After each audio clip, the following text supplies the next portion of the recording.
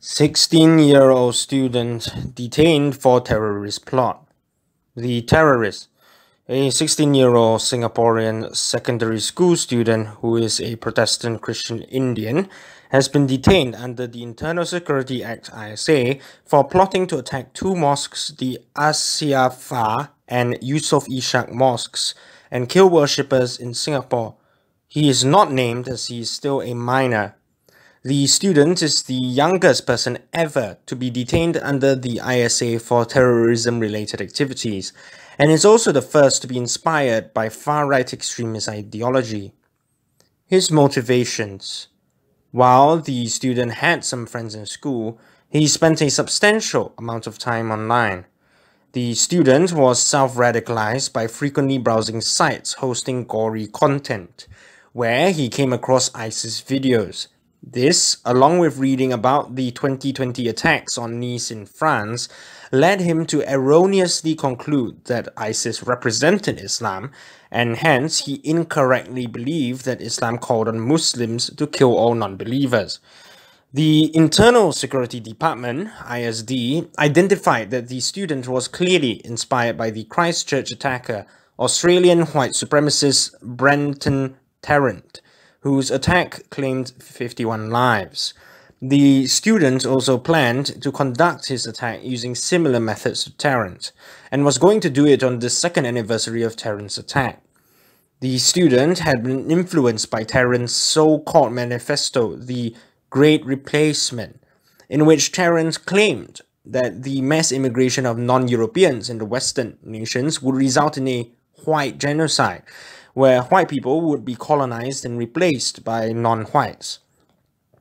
The student hence also delusionally believed that an attack by Muslims on his fellow Christians in Singapore was imminent and that the high fertility rate of Muslims would lead to the subjugation of Christians under Islamic rule here in Singapore. He wrote two messages that he hoped would be read after his attack, one addressed to the French, which called on them to declare a war of vengeance against Islam, and another which was heavily plagiarized from Tarrant's manifesto that claimed that violence was more effective than peace. The student was a lone wolf, acting alone, and he did not attempt to indoctrinate others or involve others in his plans. His plans. The student initially wanted to buy an assault rifle that was similar to Tarrant's on Instagram, but decided against it as he suspected that the seller was trying to cheat him. Afterwards, he considered joining the Singapore Rifle Association to procure a gun. He also originally planned to set fire to the mosques with petrol like Tarrant, but could not uh, figure out how to transport the fuel and was afraid of being hurt. He then bought a tactical vest online and decorated it with Tarrant's far-right extremist symbols. He further modified it to allow it to hold a mobile device so that he could livestream his attack like Tarrant. He also tried to buy a Smith & Wesson machete and watched videos on how to use it. He planned to aim for vital arteries in the neck and chest area of his victims to cause maximum casualties. He plotted to steal his father's credit card to rent a BlueSG car to travel between the mosques he picked those locations as they were close to his home. Finally, he also researched how to make TATP bombs, which were used in the 2005 London Transit and 2015 Paris bombings. Rehabilitation, not jail. Minister for Home Affairs K. Shanmugam stated that the students will be placed under rehabilitation instead of jail, the student will undergo psychological counseling to deal with his tendency for violence and vulnerability to radical influences. The student will be assigned a mentor that will guide him towards pro-social behaviors. The student will be permitted family visits and an aftercare officer will be assigned to his family to provide social and financial help. He will also be allowed to continue his studies and will be permitted to take the national examinations while in detention. Mr. Shanmugam hopes that the student will have his misperceptions of Islam corrected and complete his rehabilitation successfully. If all goes well, the student could be released in a few years and given a chance to reintegrate back into society. a worrying trend. Mr. Shanmugam was fearful that if the attack had not been prevented, that it would incite fear and conflict between, uh, between communities in Singapore. He stated that both the ISD and the Ministry of Culture, Community and Youth would engage with religious organizations and encourage them to practice vigilance and strengthen their crisis preparedness. He described the recent rise in right-wing extremism as worrying and saddening. Mr. Shanmugam also highlighted that the student was prepared to be killed by the police to become a martyr for his cause, making this case particularly chilling.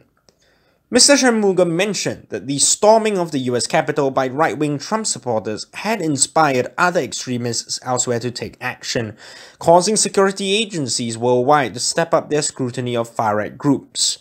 The anti-Muslim rhetoric of some political leaders who assert that Islam is an existential threat to Western civilization has only served to further embolden such attacks. He cautioned that there would continue to be a growing number of cases such as disappearing, especially among those under the age of 20, and that society must try its best to resist negative outside influences seeping in. Mr. Shanmugam ultimately made a promise to Singaporeans that the government would protect and keep all people here safe, regardless of their identity, their religion, or their sexual inclination. Call for solidarity. The National Council of Churches of Singapore, NCCS, expressed dismay towards the students' actions, decrying them as unrepresentative of the Christian faith and its teachings. It also applauded the authorities for their swift response, which protected Muslims from harm. The NCCS assured the Muslim community that it would remain committed to defeating hatred and violence, and would continue to work with other faiths to build a harmonious and cohesive society. The NCCS met Mufti Naziruddin Mohd Nasir, the highest Islamic authority in Singapore, and uh, other Muslim leaders today for dialogue. It also addressed the matter with church leaders during a scheduled quarterly meeting today and contacted the pastor of uh, the students' church to offer support for, to the congregation. Other Christian groups like the Methodist Church, the Catholic Church of Singapore, the Alliance of Pentecostal and Charismatic Churches of Singapore, and the Heart of God Church have also denounced the students' actions and destructive ideology, with some adding that they would also reach out to the Muslim community and reassure them that they do not condone such extremist thinking.